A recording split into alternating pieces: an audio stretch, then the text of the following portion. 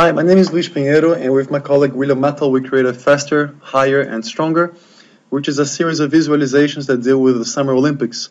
We were particularly interested in finding out if a particular country has increased or decreased performance in an event or in throughout the Olympics, as well as finding out which countries dominate uh, which event, and find uh, statistics about women athletes as well, um, if they're increasing in numbers, if they're obtaining more medals, and so forth.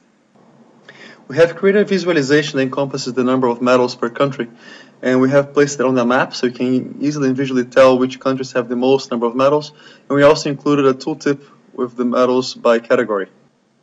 We created another visualization that shows um, the number of men and women athletes throughout the history of the Olympics, and we can use this tool here to filter on a particular range of years. We're also interested in finding out how a country did throughout the whole uh, range of Olympics. So we created a tree map that you can use to see how your country did throughout all the Olympics. We also color coded the the event, so we can tell if it's a men's event or women's event by the blue and red uh, color. And we color coded the the nodes for the medal, so we can tell if it's a gold, silver, or bronze.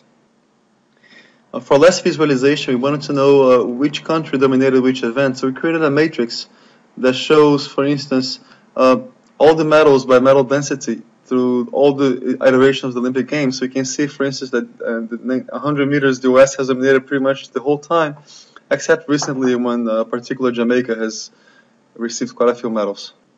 In conclusion, we believe our visualizations are, are very helpful in uh, confirming some of our theories, such as the US being the dominant country in athletics, as well as the the, the increase of women participation uh, in, in, the Olympics, especially in the recent decades. Um, we also can see uh, some interesting trends. But overall, the, the dominance of the West over athletics throughout the whole range of the Olympic Games.